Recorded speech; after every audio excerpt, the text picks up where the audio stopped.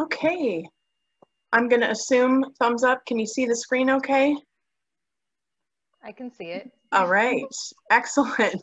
Well, good morning, everyone. Um, it's a pleasure to be with you this morning. My name is Jamie Wells, and I'm the director of the Center of Excellence for Careers in Education. We are hosted at Green River College. We are one of 11 centers of excellence in the state, all sort of within the umbrella um, of the state's community and technical college system. And Carrie, I will let you introduce yourself. I am Carrie Pierce. I'm one of the workforce development direct, uh, directors at the Washington State Labor Council AFL-CIO. I use she, her pronouns. Um, I have my portfolio is um, K-12, um, registered apprenticeship, and community and technical colleges. I have been dabbling a little bit in the four-year um, communities, um, but it's um, very strange to me at the moment. So I am not authority on that. Um, and um, Jamie and I have been working with advisory committees for a while, and this is sort of a production of the things that we have learned as we've been doing presentations either separately or, or collectively. Awesome. And I've I've been in the system, the community college system, for about 24 years. I started at Highline um, forever ago, and I've been at Green River for the last 12 years or so, and in this center role for the last six or seven years. Um, and as Carrie mentioned, um, and in in thinking of this training in particular, and why we're here and why we're presenting this information, we attended a training um, several years ago from an expert, um, someone from a community college in the Midwest who focuses on effective employer engagement as well as um, implementing and establishing um, effective advisory boards. So we went through that training and it, it was so well received by everyone in the room. We wanted to be able to take that and then sort of customize it uh, to better suit the needs of the colleges within our state. Um, so we did that, and we've sort of been presenting this information um, a, as we go for colleges that, that need it for large groups, small groups, conferences, whatever. Um, and we keep building on it. We keep adding to it. Um, it it's we enjoy presenting this and sharing what we've learned and continuing to share um, best practices, challenges, um, things like that. So we're excited to be here with you today and, and share some of what um, what we know and what we've learned, but then also hopefully listen to and learn from you um, as well. So before we go any further, Chris, how about we start with um, a poll that I know you've got ready for us.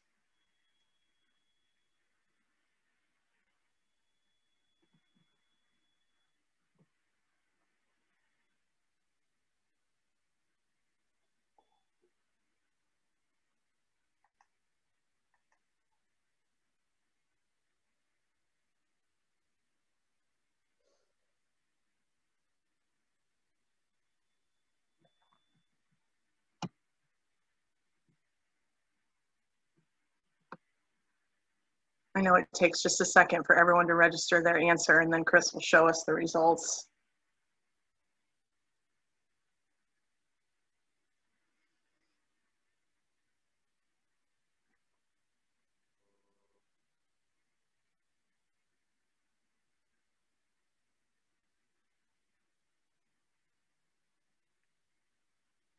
All right. Hey, this is great. Why did you join us today? And just over 80% of you are feeling like you're, there's ways that your committees can be more effective. And also being able to share and see what, what others are doing. Absolutely. That's a great opportunity for that. And of course, there's always a couple, of course, boss makes us go to things like this. We totally get that. And, and 20% of you, I'm not sure if I believe you, you just really love Zoom meetings. well, I was one of them, so. I felt like I had to participate. That's awesome. That's great. Okay, well, the way Carrie and I like to present, we've got a whole bunch of information to share with you, but we also feel like we are an open book. Um, we bounce off each other a lot. If there's something that a, burning question or something that um, that you want to jump in and ask or you're confused about, by all means, um, please just wave us down or, or, or put something in the chat. Um, whatever we can do to help serve you today. Yeah, if I could just say that um, Jamie and I, like, we have a formal presentation, um, but we are um, pretty casual in our um, presentation style. So um, feel free to interrupt at any time, um, put stuff in the chat. Chris said that she would be monitoring that. So she'll bring that to our attention if you're not feeling the desire to interrupt us, which is, you're not really. Absolutely. Okay, so quick session overview. What, what are we going to cover today? Um, one thing that we know is that advisory boards can oftentimes make or break a program. And some of the uh, common challenges that we have heard and continue to hear, um, and I'm sure that, that um, some of these will resonate with you, there's never enough members and we struggle to recruit new members or the members that we do have don't seem all that engaged or don't seem like they want to stay or they just flat out end up leaving and that's a frustration. Not everybody is on the same page necessarily uh, related to the value of engaging with employers. We're, we're busy and have a lot of other things on our plate we just don't have the time um, that we know we probably need to invest in those relationships. And we hear things too, like longtime board members who maybe are a, a little bit disruptive, maybe they're inflexible. How in the world do you handle a situation like that too? Um, and so, and, and there's many more. That, that's just a quick snapshot, a snapshot of the challenges that we hear and things that we will address today, some of those major questions and concerns. We also hope to demonstrate the value of strategic long-term partnerships with employers and offer you some tools and strategies for effective engagement and, and ways to approach um, ways to approach this work. Why does it why does it even matter? And Carrie, I'm going to um, feel free to chime in here with me on, on this slide when we talk about employer engagement. Sure. So in this context, if we could um, think it's not, and the employer isn't just the business owner or small business owner, right? It could be the HR director, it could be the foreman on the job, it could be the worker that's actually performing the task within the um, company. So um, this is sort of um, employer is going to be all inclusive of um, you know, folks that work with and for um, that um, employer that you're trying to engage, right? So, for instance, if it's you're trying to engage Boeing, there's also the machinists workers um, machinist union that could also be at your table.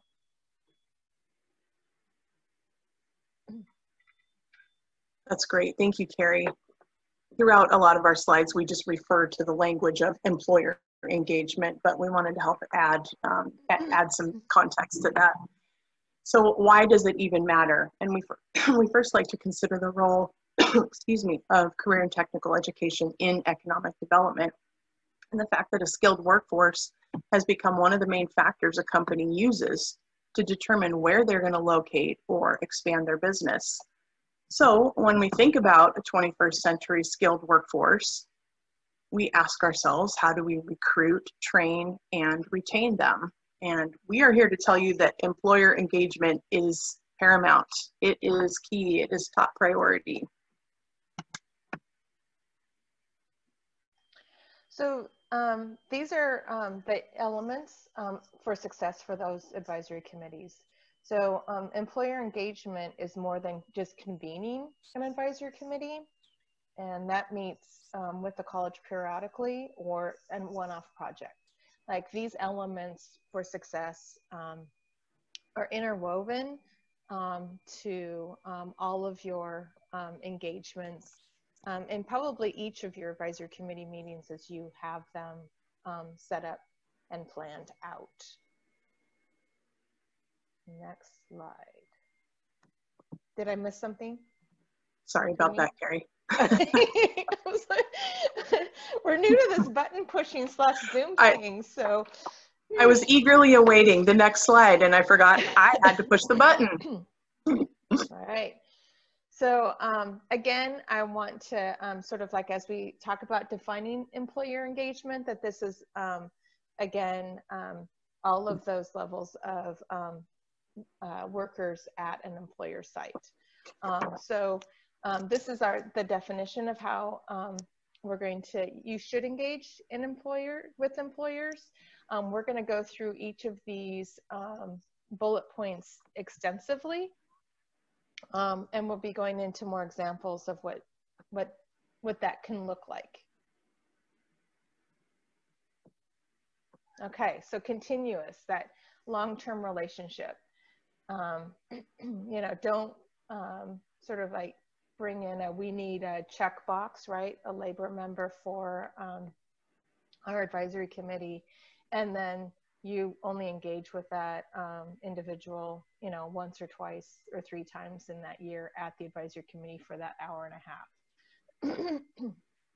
so part of my work is um, when I recruit labor members to your advisory committee member uh, meetings, um, I will have gone through a training with them so that, that when they show up at your doorstep, they understand what um, an advisory committee member um, does and what the community college um, sort of looks to them for their expertise. So they come to your door um, hoping to not have um, a short-term transaction.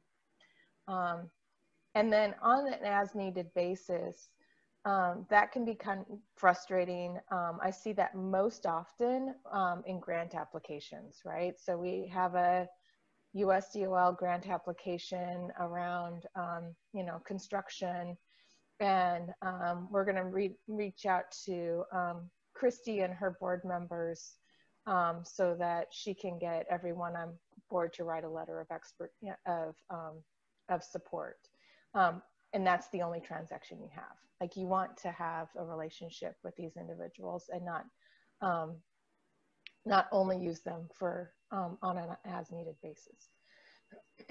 Excuse me i have a frog in my throat so i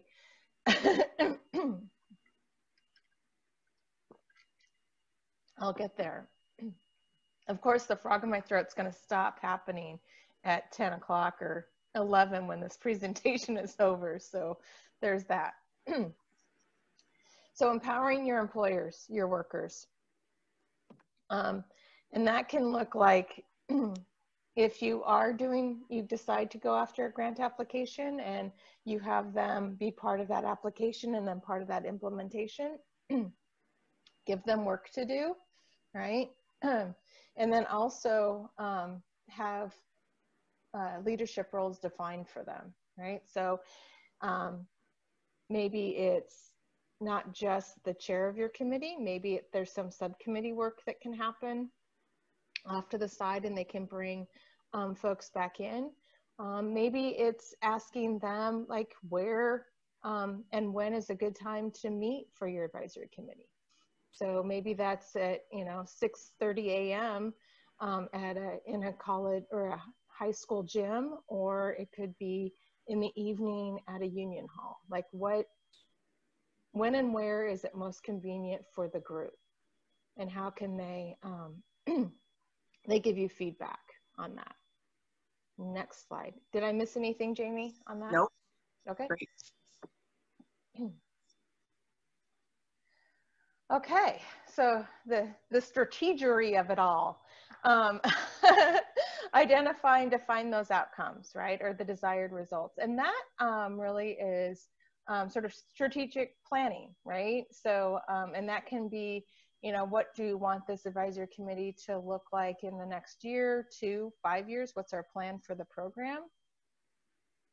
And then also, who are at the table and um, and what could we, what could those goals be while they're there, right? So, what who are the stakeholders?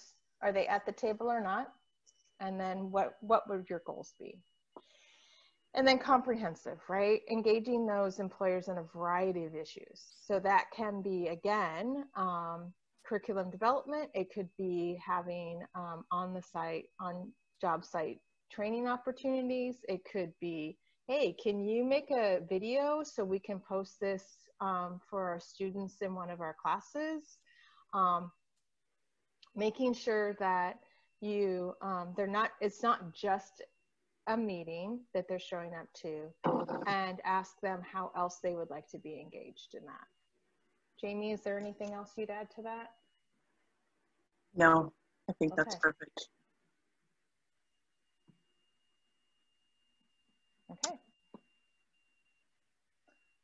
So also, I'm sorry, Carrie.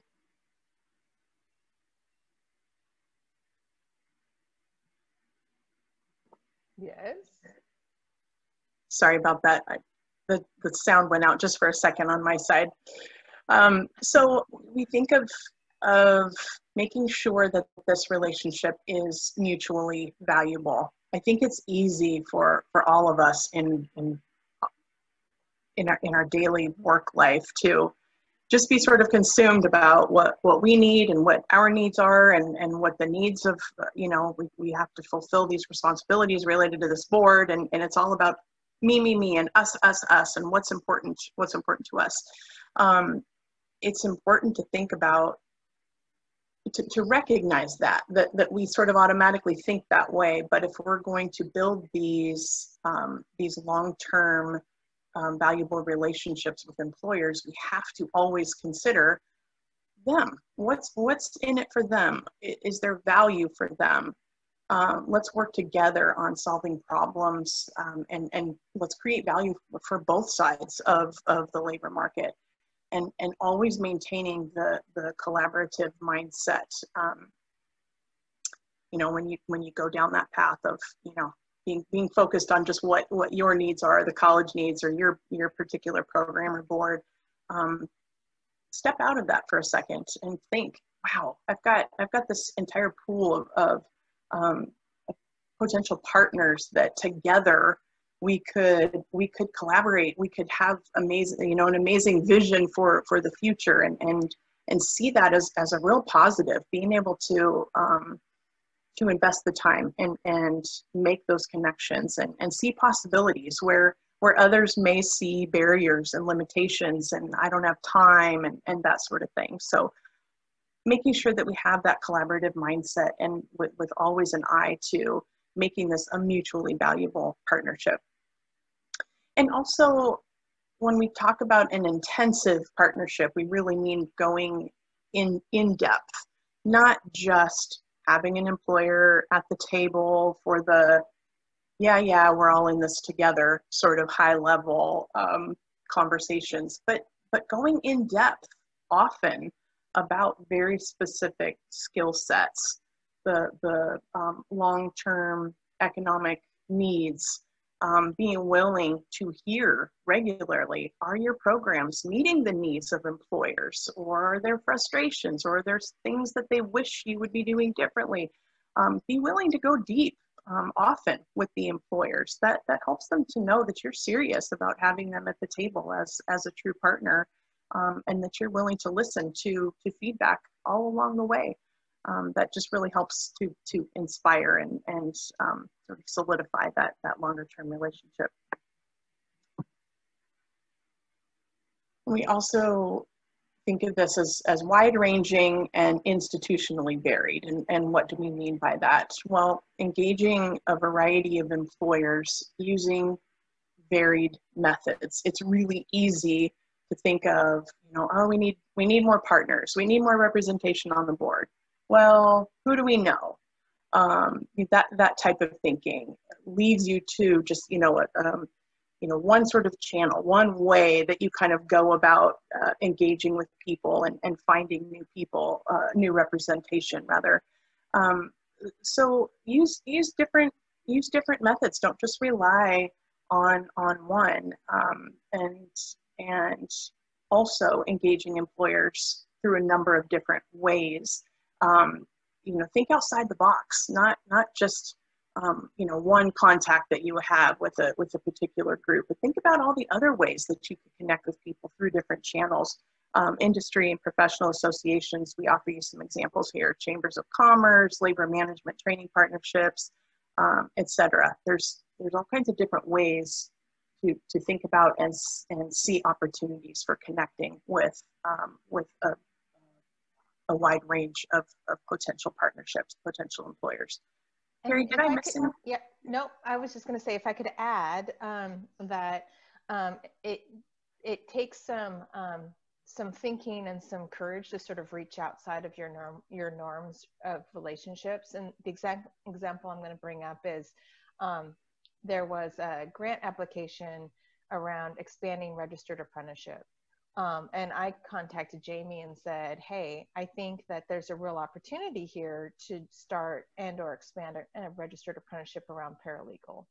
Um, Jamie, that was registered apprenticeship wasn't in Jamie's wheelhouse before we had that conversation. Um, and she said, "I don't know if I know how to do this." And I said, "Well, I got you. Like, trust me, it's going to be okay." It ended up being okay. It was a mess for a while, but it was okay. Um, but I would say that sort of open yourself up to um, like uh, either seek out or accept um, help from um, folks that aren't normally in your sort of wheelhouse of engagement is what I would add to that. Perfect. Thank you so much.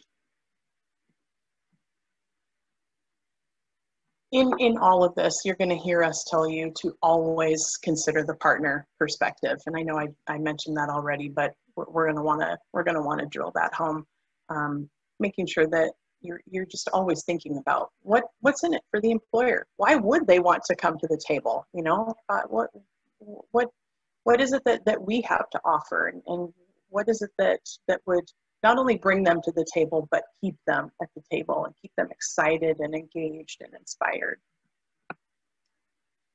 So we have a number of considerations here for effective engagement and making sure that you're always working towards creating that mutually beneficial partnership. And noting up front that, that their participation equals money, not just time. There's got to be something in it for them. Um, in, in my own work as the Center of Excellence Director, we, we have an, an advisory board and I just went through, we had a couple of people leave their positions and, and move on. And so I'm, I'm looking at, at replacing them. And one in particular said, I need also, I, I think that I can join the board, but I need some written documentation. My supervisors want to know a little bit more about the Center of Excellence, what this commitment is, um, I, if I'm going to have to travel to meetings in the future, they need details on that. Um, so it, it's it's important to think um, think of it that way, not just well we you know we are who we are and people would want should want to come to us. We always need to focus on on them and, and know that something's got to be in it for them and, and make sure that they can see that value up front.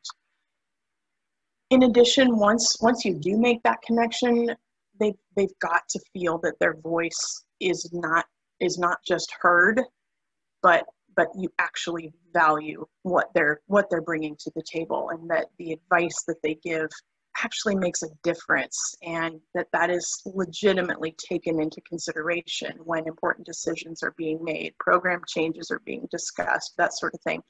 They don't want to feel like you're checking a box by having me at the table. You don't really care about what I have to say. You guys have already sort of made your own decisions.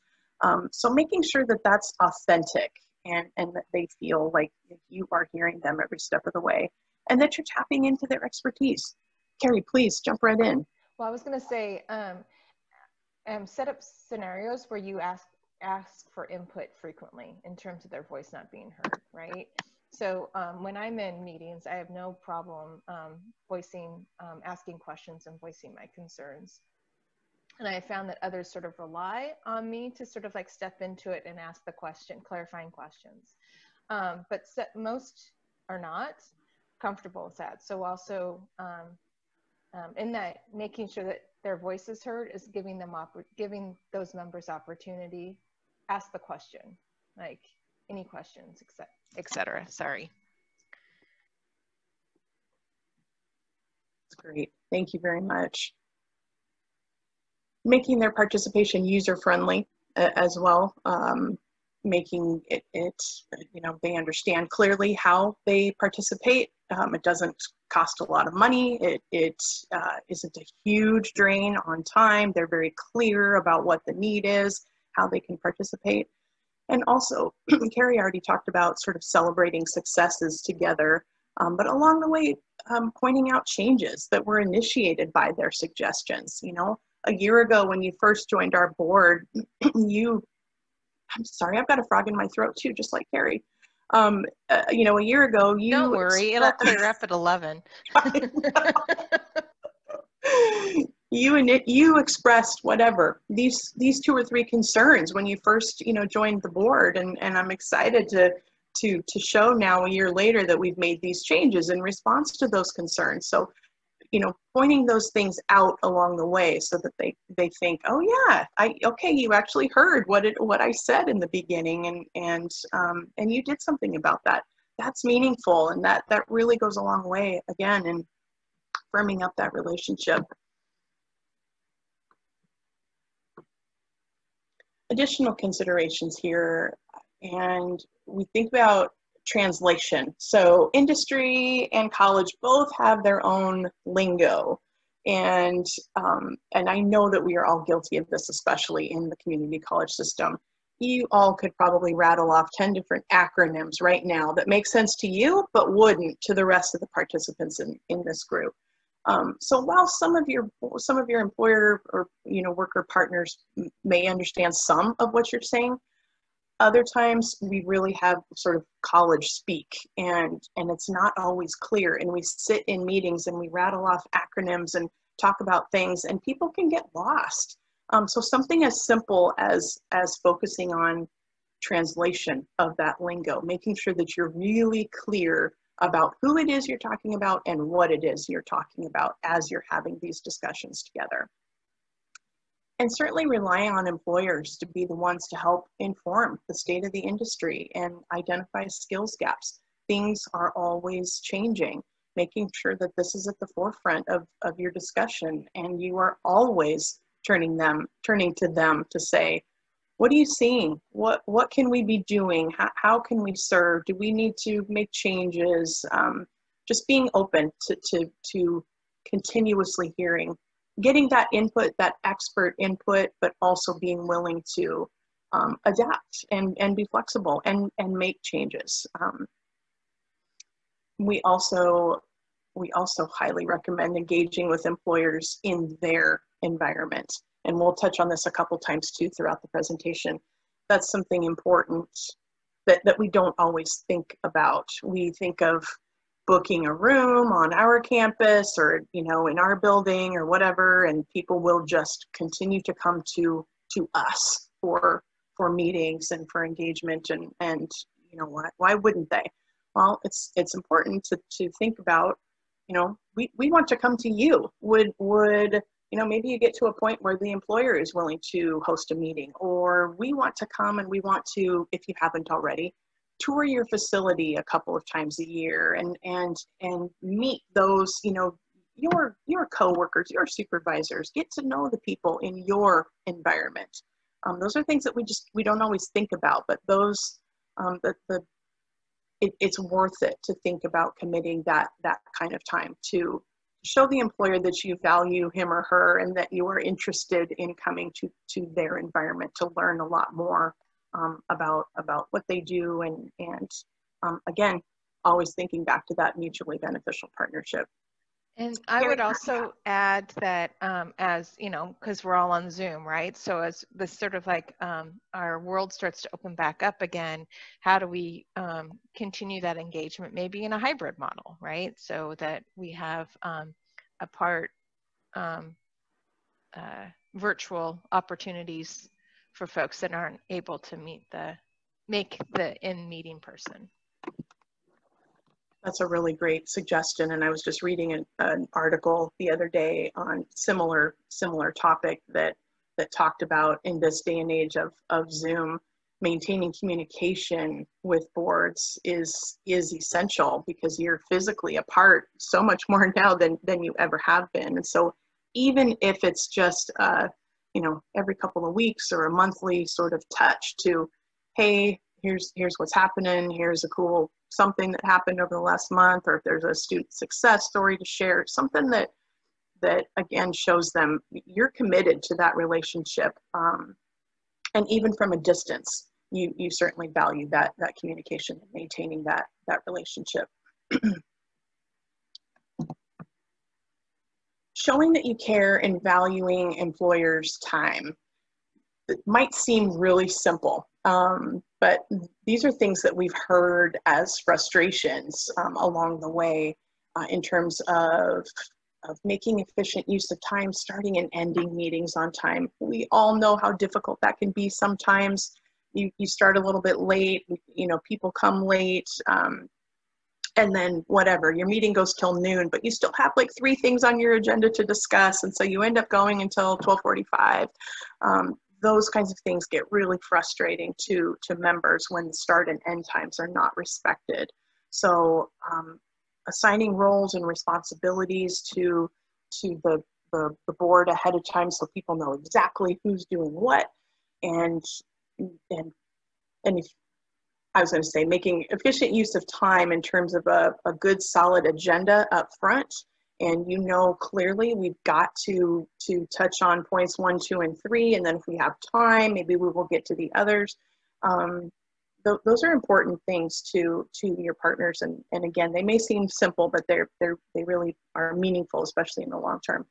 Offering at least one to two months notice um, on, on meetings a couple months um, we would recommend at least some go ahead and set an entire year's schedule and they can modify as they go if necessary but getting how often do we all hear that got to get that meeting on my calendar my calendar's filling up so I that probably goes without saying. One of the one of the biggest frustrations we've heard is like, you know, don't send me a meeting for next Tuesday. It's already Friday. I'm busy, and and you know that that doesn't make me feel good. That makes me feel like you have an emergency last minute here, and you need my input. You need me at the table, but you don't really care. If you did, this would have been planned at least a month ago or or longer. And so always keep that in mind how that will be perceived um, by the employer if you're constantly doing all that sort of last minute stuff.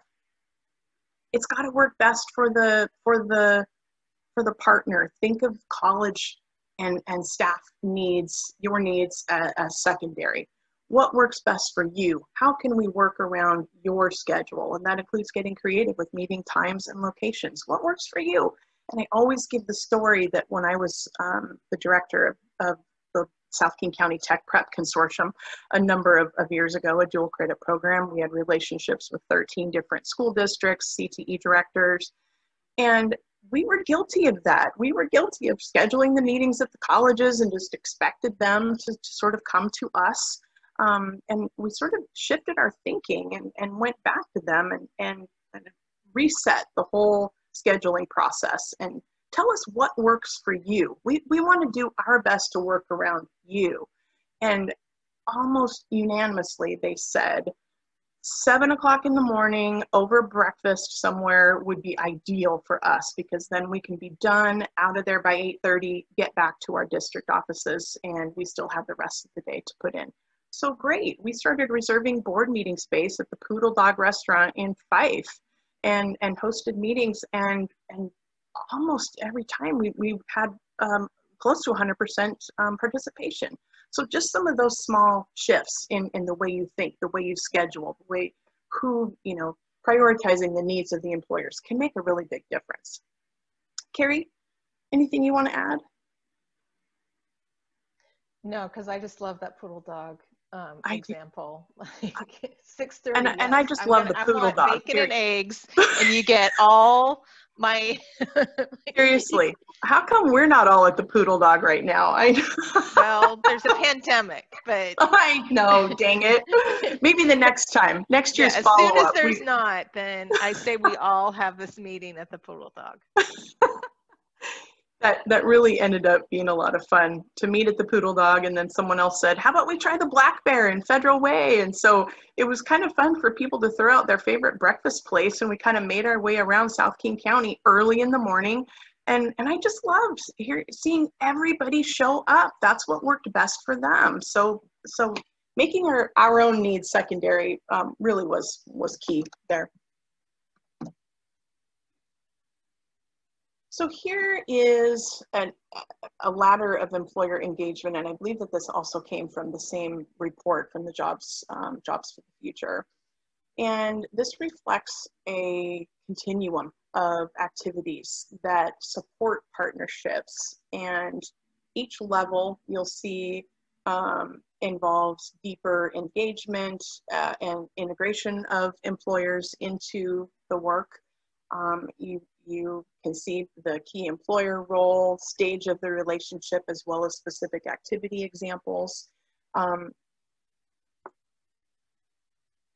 it's, it's important to think of, of this as sort of a continuum and that it's possible to have relationships with people that are at different levels and and what you can do to get from level one up to level five. And some of some of the little things that we're talking about can can go a long way in establishing the trust and and and that you know really building that working relationship. That that can help sort of propel you from some of those lower levels into the the, the higher levels where you then can can consider we've got this employer who's been with us now for a couple years and we've been we you know we've got this really great relationship and we consider this person a full strategic partner.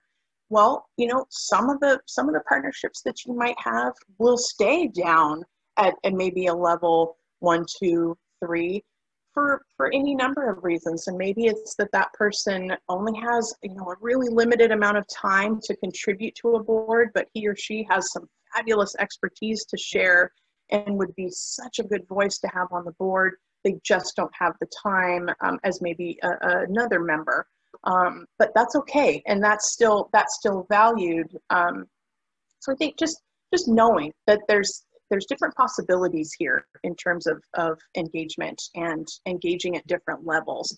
And once you start asking them to, to do some additional work, some of them jump at the opportunity and have told us, nobody ever asks me to do that. All, all they want me to do is come to a meeting. I was never asked to chair a subcommittee or you know provide input some some different way or attend a different meeting with college leadership whatever it might be.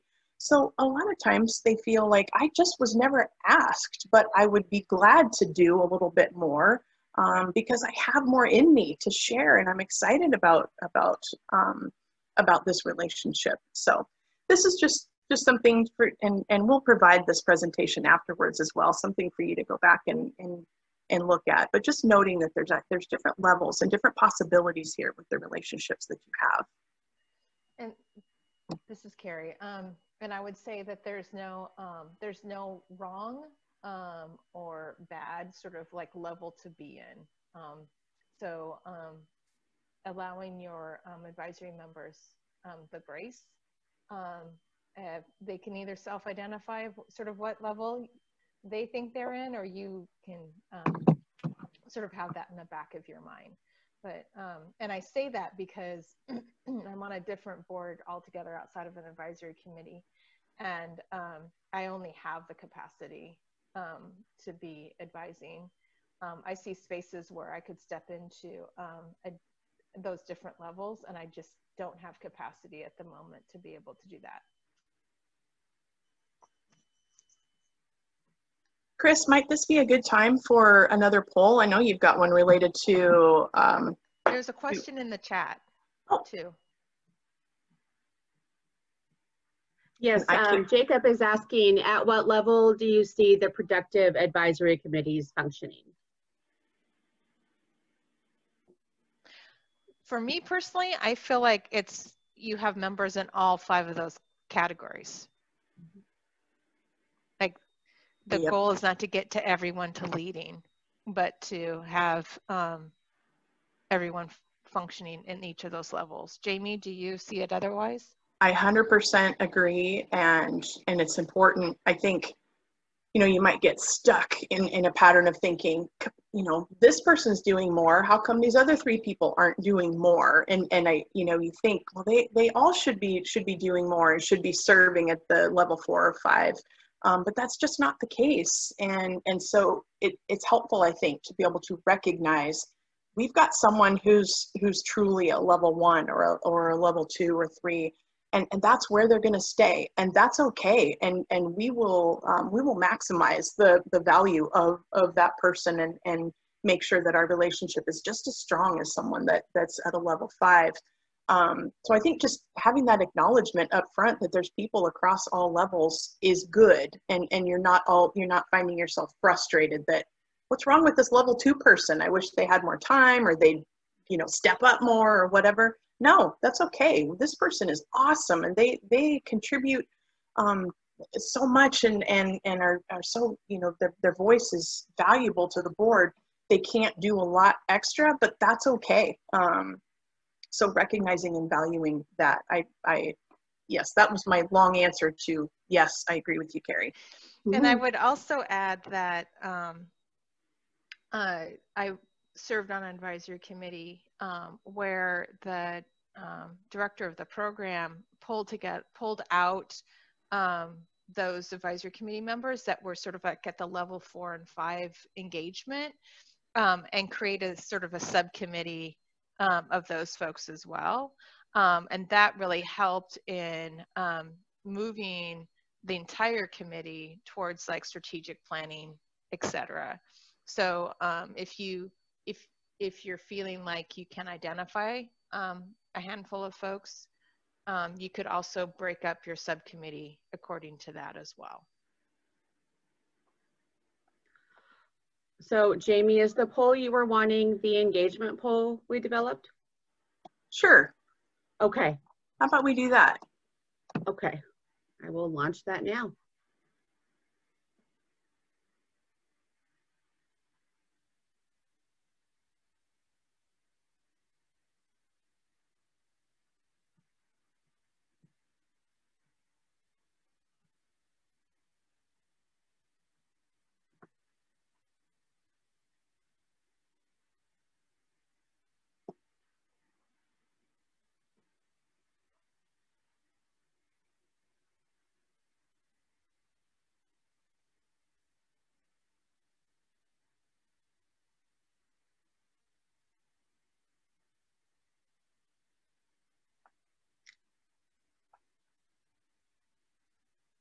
The results should be showing now. I answered poorly engaged only because it looked like I needed to answer to clear that off my screen. So that percentage should be just a little less, but it still looks like that's that's the majority. I answered adequately engaged to counteract what I knew you were going to do, Jamie. Perfect. so we negated each other's votes. Beautiful. Well, and I think this is really interesting um, to see. You know, very there's not very many that feel like their their board members are completely or or mostly engaged. Some feel like they're adequately engaged. Um, many feel poorly engaged, um, and some not engaged at all. Okay, that's interesting. Chris, thank okay. you for that. And moving right along. Carrie? All right. So um, just here's some additional ideas of engagement. Um, and um, we've we've given some examples as we've moved through this, um, but certainly um, this is not an inclusive um, idea uh, bullet slide. Work-based learning opportunities, and that's uh, student connections, I love that. Um, those are sort of like on your, your career fairs, right?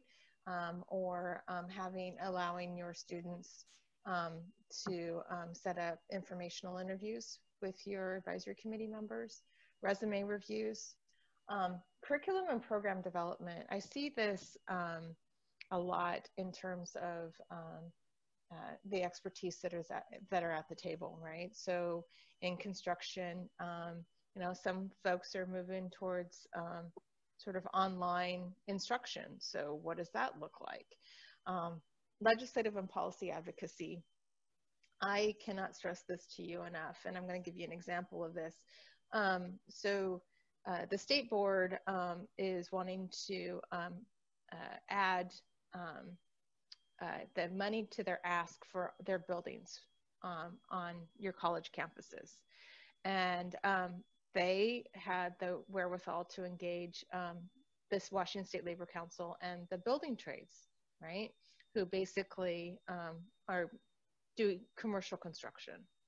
And so how can we like not only have a state agency make an ask to the legislature, but also engage our labor and business partners because um, that those builds on your college campus are um, well-paying jobs for your students, right, and your community. So it's a win for for everyone. Um, guest speakers can't um, also um, stress that enough. And if you um, need help with your guest speakers, either use your advisory committee members for your guest classroom speakers or invite them to um, ask others within their community. And then um, the credential recognition, like, um, you know, is this credential that we're saying is, uh, you know, on the pathway? Is it really? Um, and if it's not, how does it get changed and or updated? Jamie, do you have anything to add? I don't. Okay. So recruitment and retention, know your employers of your industry.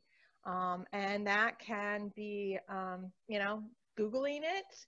Um, that can be looking at prior um, advisory committee lists to see um, what employers um, and workers have been at the table before and then develop that strategy to get to know them better, right? So, and that can also be, you know, casting that wide net could include um, using your centers of excellence um, because they are also engaged in um, uh, have advisory committee members from both business and labor as well.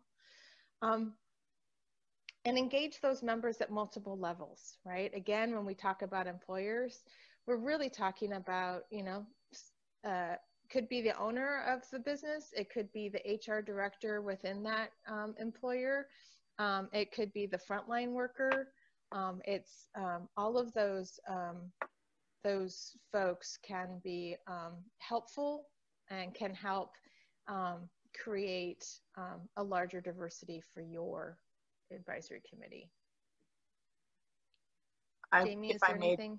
I would just add, um, I, I, think it's really easy to become dependent on a single person at, at an organization. It's a person you've known for years. They've they've come, you know, they've engaged with the board for years, that type of thing, and suddenly they're gone. They retire. They get they get a new job, and you go, oh my goodness, this person has been so beneficial. This relationship has been so beneficial, but we don't know anybody else. We don't know any of that person's other supervisors, coworkers, you know, team members at, at their at, at their place of business. And so um, it, it helps to really limit your dependence on just a single person um, by, by casting that wide net that Carrie was talking about.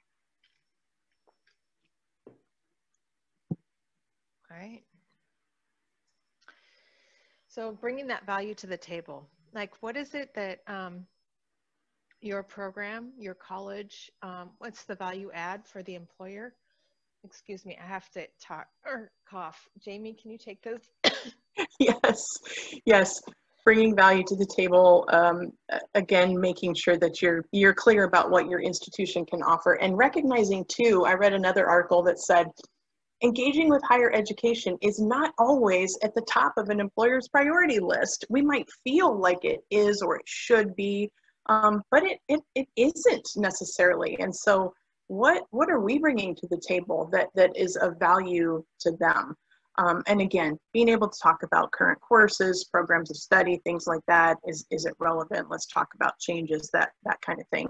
Making sure that they understand um, the, the, the value to the relationship and to their time coming to the table. Thank you, Jamie. okay. I got um, you. so um, those new members, right? So provide that formal welcome pack. Um, and what I would say um, is that, again, the labor members that um, I've recruited for your advisory committees um, have already gone through sort of a short uh, training about sort of what an advisory committee member or how they engage, what that program um, could entail, et cetera, et cetera. Um, but beyond that, providing that welcome packet to everyone um, what's your contact information, right? What are the contact information of the other committee members? They may already have a working relationship um, outside of your um, advisory committee. And to be able to um, help make those connections that sort of like, oh yeah, you're on, you're at the chamber while you're also at, you know, Renton Community College ask them again um, to share at meetings. And I would say that is true for all of your members, but particularly your newer members right? Create a um, safe space for um, them to share. And then nurture that relationship from the start. Um, be excited, you know, you're excited to have them um, be at their committee um, at your advisory meeting and show that same enthusiasm, you know, a year later, um, right before you go into your meeting at the poodle dog. like just create, you know, create kindness and opportunity, I would say. All right, next slide. And again, um, inspire that collaboration. Um, breakout groups, um, either during your committee meeting, um, subcommittees um, off to the side. Um, this is a real opportunity for you to sort of like set the, the table and the tone for that interaction, that networking, that collaboration both at your table and then outside of your um, organization. Magic happens um, both on the day of your meeting and then within that, you know, four or five months between. And then consider implementing term limits. And some people are like, what? And others are like, yeah, how do we do it? So um, we all know that we've had some advisory committee members that um, have stayed on probably much longer on your committee than um, than is comfortable for everyone. How am I saying this politically correct? You're doing, you're doing well. You're doing well. Um, and so the sort of what we found a tip, right, is the easiest is sort of like set up term limits and these are whatever you all decide, right? They can be, these are faux term limits. They're not sort of in policy or WAC or procedure um, that are anywhere formalized. Um, but sort of go, hey, you know, we want you, oh, sorry. Okay. We want you to, um, you know, commit, we want your commitment for two to three years and then renew those commitments, right? And um, if the board member that's been on your committee for 30 years, um, after you've started this implementation and you're like, you know, we would like somebody new, you can at the end of that term say, you know, send a letter saying, thank you so much for your term. You know, we have so valued everything you've brought to the table and, um, and leave it at that. And then the folks that you want to um, bring back after that three years, you'd be like, hey, thank you so much for serving. We hope you would consider um, staying on for another term. Jamie, did I get that? 100%. Yep, I, I think that's great. And, um, you know, you can, that can be a delicate subject that that's tough and and we've heard this concern from a lot of people um, for for different reasons what why you know a, a long-term board member um, I, I, yeah, how do I say that right? They, they would they would like to keep they just want to keep the board representation fresh. It's it's just it's that simple, and and that's difficult when you when you have longtime um, board members that have, have been there for 20 years, sort of stuck in in their their thinking, and and so you know it it can be going back to the group and and being able to say hey i i went through a training like this and here's something that here's a tip that that we heard and that a lot of of um, college advisory boards are are implementing and that's a really cool way for us to keep our representation fresh. You know a few years down the road as as um, as we engage with new employers you know that that's gonna something like that would help us to, to be sure that, that our, our board re representation is kind of always changing and fresh. So you, you sort of frame it that way instead of, huh, we found a way to deal with whatever this person or this person or this the, the, the struggles that we're having on on our board and so um, that, that's just that's one of the biggest tips that we that we share and, and a something to, to build in and and and use if if if you need it. It it's it's there to sort of lean on. And we have Sam like we have there's a toolbox, right? Of um, and Jamie will share that link maybe in the chat, but there is a toolbox for um, you all to be able to use that includes a sample um, term limit letter. I will share everything with Chris after our presentation. Not only will we share our PowerPoint, but I will share the, the link to the toolbox as well. That's got various resources and things for you. Absolutely. Thank you. I'll make sure that gets distributed. Great. Thanks. So labor involvement, why, um, why and how does um, labor advocate for the career and technical college system? So this, um, this slide and the next slide was pulled together for a presentation that um, labor trustees did at the National Trustee College Trustee um, Association Conference. And um, what I would say to you is that labor is involved in, you know, the forms of government right, that would figure out what programs and policies and funding should go to the community college system.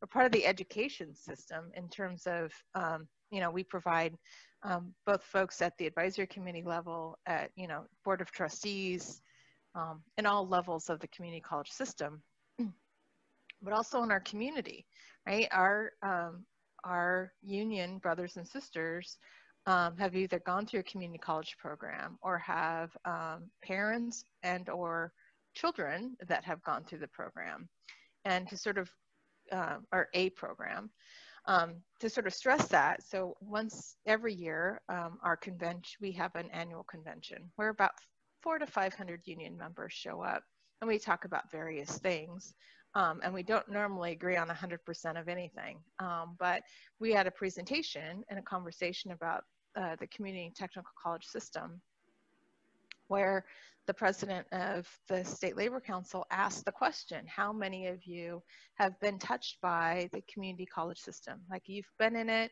or you have family members that have been in it. I'm telling you, we never 100% agree on anything. 100% of those hands went up, right? So we are, we are your students.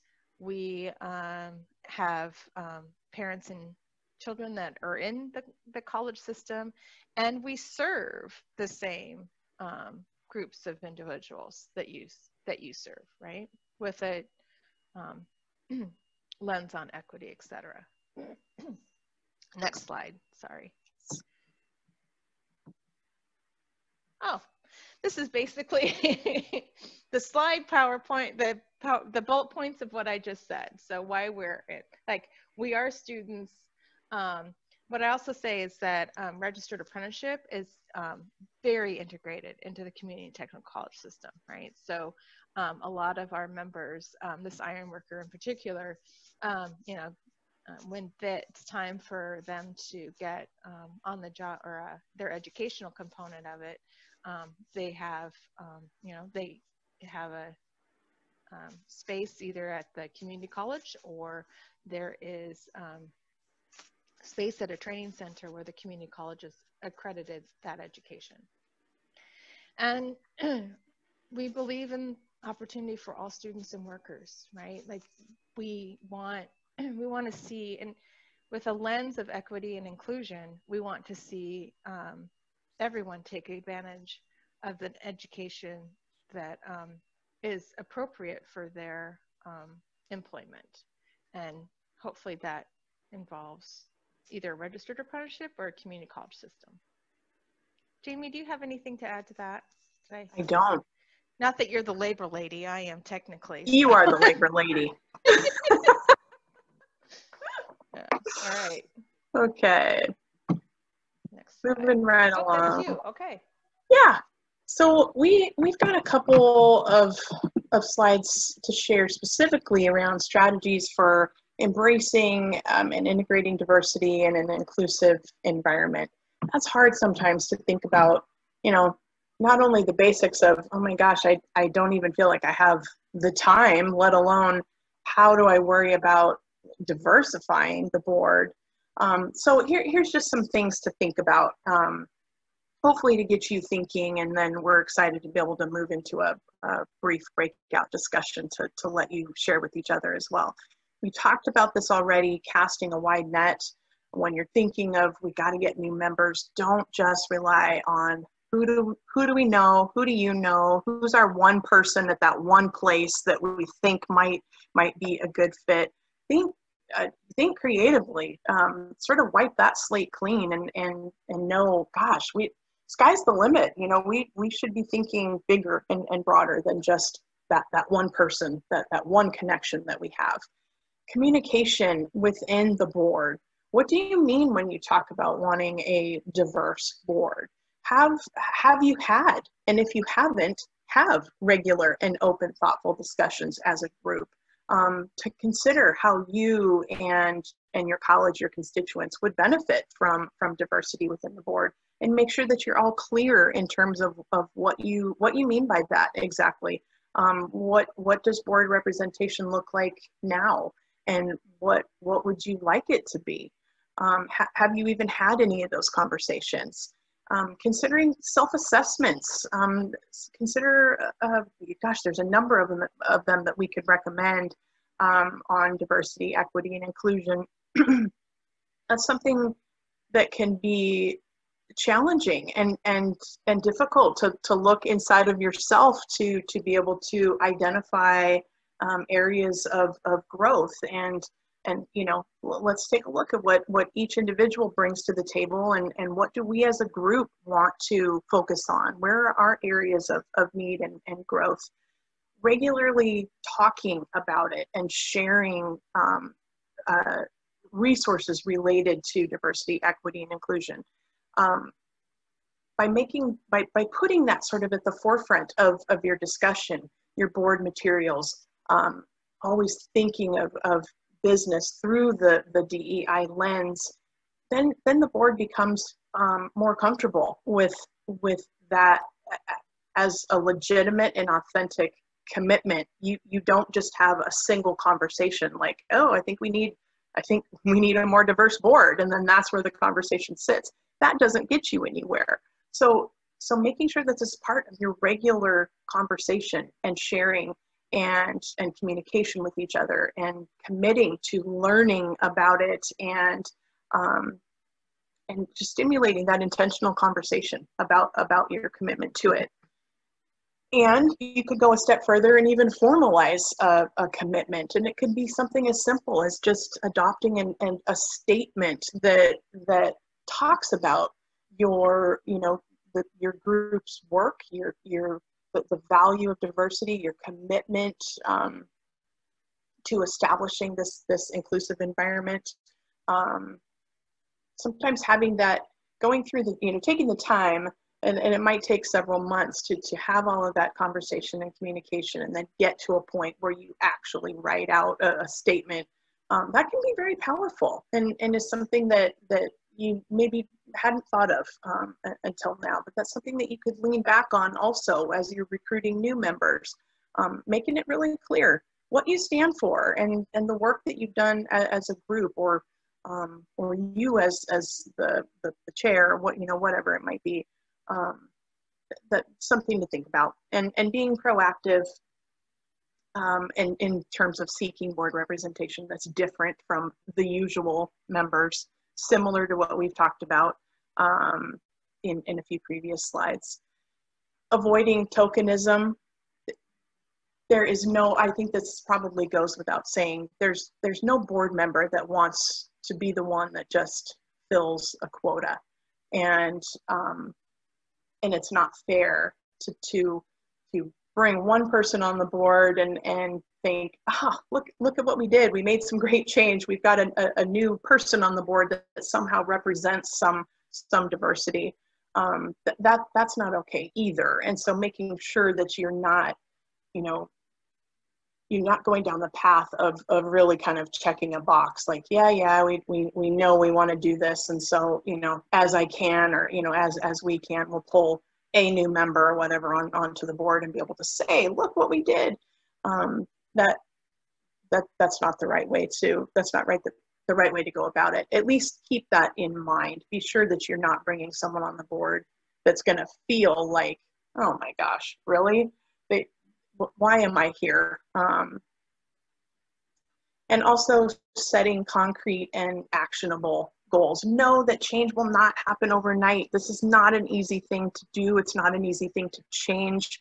If your board right now is is whatever, it's it's not diverse. People are are they're they're not all that engaged. You you have trouble getting people to even respond or show up to meetings.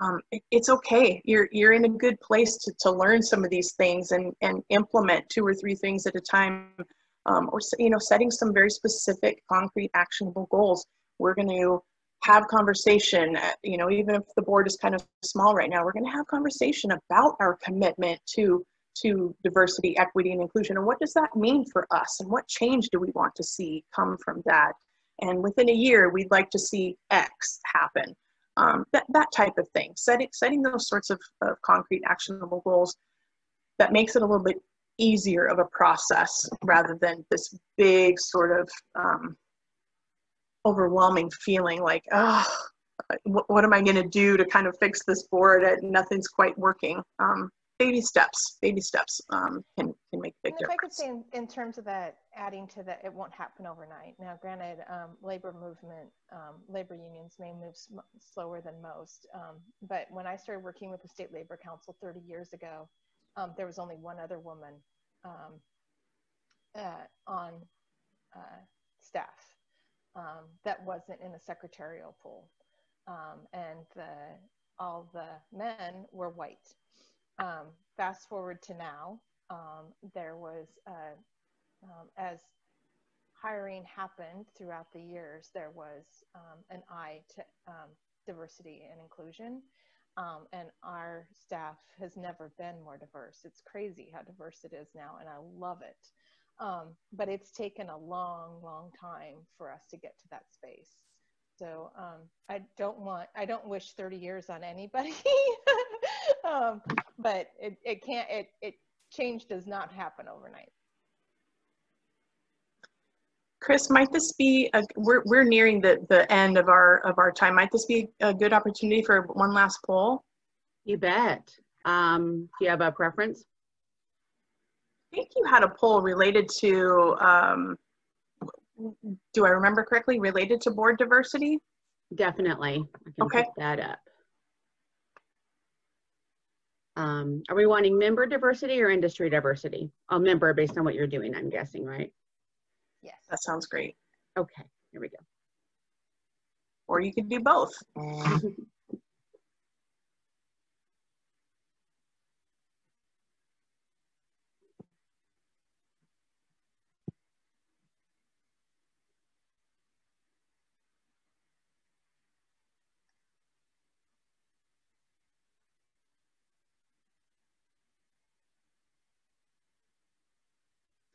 okay me share the results.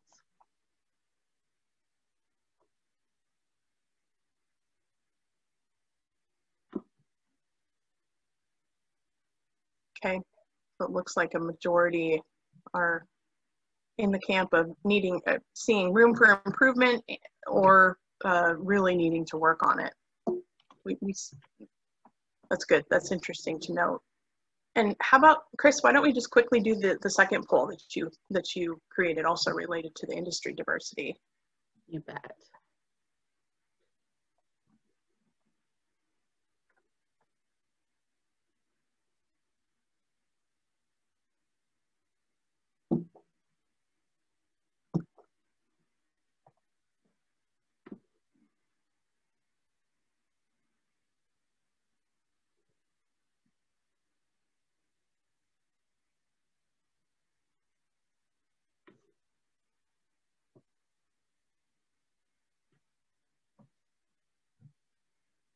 Okay, and I'll share now.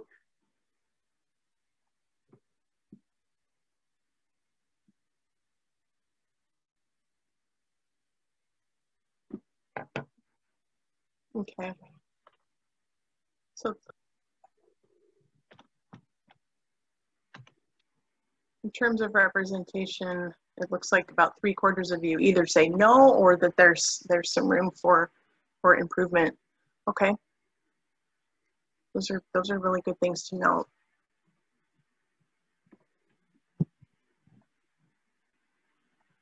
And we we've got about 15 minutes left total, so um, we'll we'll move through these last couple slides, and then we hope to to um, move into a, a brief um, breakout discussion so that you have an opportunity to share with each other a little bit. In conclusion, you've heard a number of these things throughout the presentation. Establish the shared value. There's so many different ways that that that um, you can connect with with employers um, and and collaborate.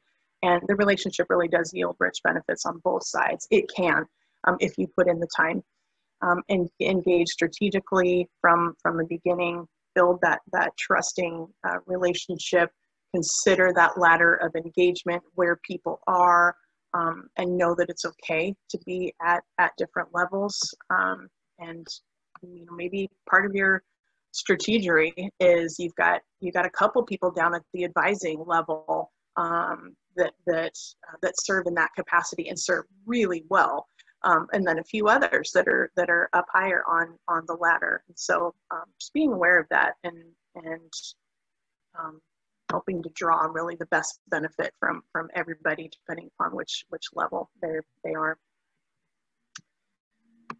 We've said it it takes time. It, it just flat out takes time but moving in that direction is such an important first step and it it is challenging and, and it does demand a lot of your time and that's something else that we hear from colleges like my plate is so full.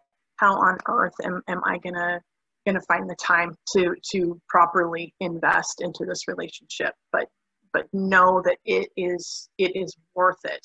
Um, it is it is worth the challenge and and if you at least get moving in that direction one rock solid partnership will will lead to the next and that will um, that will lead to a whole perhaps different network of, of, people that you didn't have the year prior that that type of thing. And so um, focusing on on what's in it for the employers, the benefit to employers, and, and building that, that mutually valuable relationship, it will pay off in the end and it's totally worth the challenge and the time. Carrie, did you have anything else to add there? No, no. But I'm wondering if um, we only have 15 people on, right? Oh. Maybe we don't do a breakout room. Maybe we just do this collectively. I love the it. Next, like 10 minutes. Does that work okay? Chris, is that okay? Yes, that it's it's your ball it's your ball game. I think yeah. that's wonderful. Just want to make it easy for folks. Yeah. Mm-hmm. So maybe um, if you don't want to um, speak up, you can put some of these answers to the questions in chat. So what does good employer engagement look like? Are there other ideas out there um, that we haven't hit on um, that you have seen um, that could look um, we could use as examples for other presentations. Sorry, I'm reading I'm reading chat as I'm talking. Easily distracted squirrel. Sorry, I thought it would be helpful to have there in nope, case totally. Yep. the slide yeah, yeah, yeah. so this is your part where you guys get to step in and tell us, you know, what that looks like. Or if you don't know what that looks like, what are some big, what are your some of your biggest challenges? Like, you know, can we collectively start to hear what those are and then um, try to provide provide an assist? I think for me, the biggest um, uh, thing that has worked really well is inviting um, industry partners to do mock interviews for students. I know you talked about that in your presentation. Um, but that's really beneficial for them as well as the students love it because they get really good feedback um, for when they are going to apply for jobs and also when they go to practicum because a lot of them are like, oh, I want that student at my site or um, wow, let me know when you graduate because I want to hire you.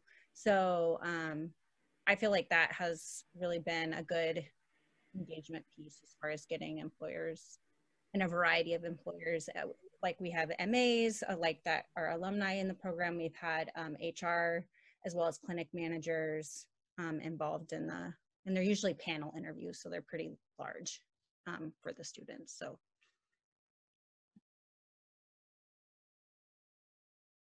and that can help with the jitters, right? Kind of work out through some of the what to say and what not to say. Yeah, good.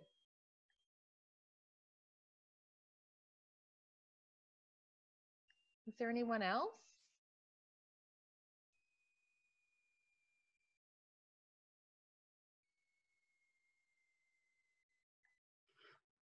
Um, Bradley Lee is has added one challenge with current COVID limitations is connecting with partners, as many are juggling a lot of new roles and their own challenges.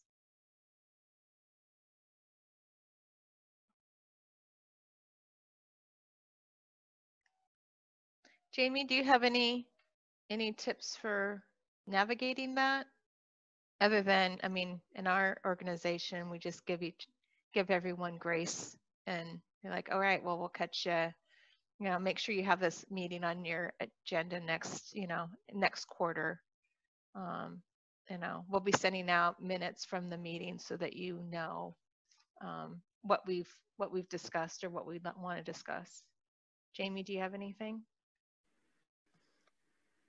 I I just can relate. I just can so relate. Um, and and I yeah I think as Carrie just said, offering grace, knowing that everybody's doing the best they can during this time. Um, additional reminders and and points of contact are helpful. Um, you know, in talking with with a project coordinator recently about something unrelated, he said everything these days, be it meetings, projects, whatever, everything is just flat out taking like twice as long as as they normally would. It's just the the, the times that we're living in, and so just you know, even as frustrating as that is, know that that's the case. Um, um, have patience, have have grace. Um, I would say frequent again, frequent communication with with board members, and and not necessarily hey you missed a meeting or hey you know what what we need from you but how are you doing? Want to want to just you know can keep keep you in the loop. Uh, let, let me offer you a quick update as to you know a couple cool things that have happened on our side the last couple months. I just want to stay engaged and i can't wait to see you in our whatever our february meeting or something like that. Just those little touch points that that make people feel like ah oh, okay you, you know that I'm going through a hard time and I'm trying to deal with kids at, at home who are doing this online learning and my life is crazy. Um, just just having some some um, I think Carrie said it best ha- having some grace knowing that we will get through this but it's a tough time for everybody. Um, Jamie, first of all, is it okay if I go ahead and unshare your screen so people can see each other better? Or if you'd like to? Absolutely, let me do that. Thank you. Um, and then I actually have a, there was another comment in the chat um, from Sheila May, and I'm sorry I lost the chat, which is basically around Zoom fatigue. Um, and that, you know, everybody's going through that. People don't want to jump on Zoom again. Um, and before she even asked that, I was curious how are any of you finding creative ways to connect outside of Zoom um, that that are working? Um, I would say with um, my close work colleagues and I, um, I I've been doing group texting, right? To sort of like, hey, thinking about you, or you know, here's a funny video, or like I shared with you all this morning about the Loki um, like series that's coming out, like adding in some um, sort of life into that that's happening outside of just work. And then also, um, you know, like today, so um, we're recording this Zoom, right? So those folks that want to, um, uh, like, hear what had they had to say, but they don't have the three hours today or the two hours to um, be part of this conversation, there's an opportunity just to um, review this information on their own. I think, you know, but te uh, texting is um, is giving me. Um, you can send lots of things to text on text that make people laugh. I totally agree with with Carrie, and if I might add, um, Zoom meetings, I, I am totally with you on that too. Zoom fatigue is real. Um, keeping Zoom meetings much shorter than than regular meetings. Um, um, you know, you might have had a three-hour in-person meeting. Well, that really needs to become an hour Zoom meeting, kind of tops and, and respect people's time. Um, something else that that we do with a couple of the different advisory boards I have related to different projects, we do late afternoon we call them happy hour meetings. We, we call them happy hour, uh, you know, mainly because of the time frame. We maybe don't start them until four o'clock, um, but that's an opportunity. I, if nothing more than people feel like, oh, I can sort of let my hair down. I'm coming to the table with my business colleagues, and we're still going to talk work, but it's late in the day. We're all kind of relaxed. Maybe I, you know, just put on my comfy PJ bottoms, whatever it might be. Um, we call them happy hour meetings and so we, we try and shift at least in your mind the thinking of oh my gosh not another midday like two hour awful zoom meeting like i get to come together with people that i enjoy and we're gonna we're gonna we're gonna meet for an hour over happy hour and and still get our business done but let it be in a little bit more of a, a lighthearted um, kind of fashion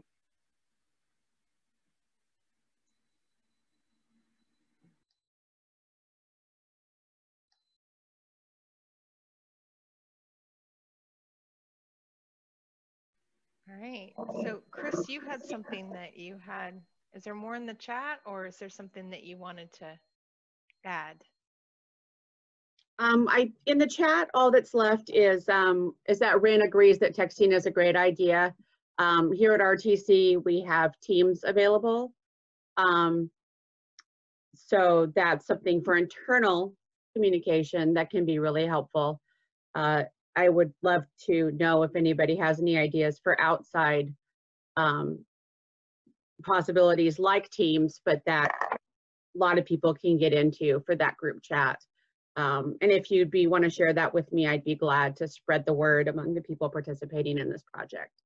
So I don't know about Teams, but um, I worked with a film producer who was out of New York on a um, uh, project, and um, we use Slack and um, that was super super helpful. So we were always all on the same page even though we were in t- different time zones um, working on different projects. I i always knew like you just download the whatever the document is and we're all on the same page together. Great. The only other thing i have is that for those who are interested in the deliverable after we wrap up I um, would like to just have five, uh, five minutes just to give you a little overview of that before we send it out. But Carrie and Jamie, I'll return that to you and uh, wait till you've completed your presentation. I see Christy mentioned that GroupMe is a good app to use. Christy, can you just tell us real quick about that? Sure. Um, I use it for several different, uh, but um, I think the nice thing about that one too, and maybe this is Slack, I'm, I'm not familiar with that, but is that you don't see everyone's phone number. So I can send a group message and maybe not everyone would like everyone to have in that group to have their phone number. So that's kind of the nice thing is it keeps that private, um, but is a great way to also send those immediate messages and um, updates. So.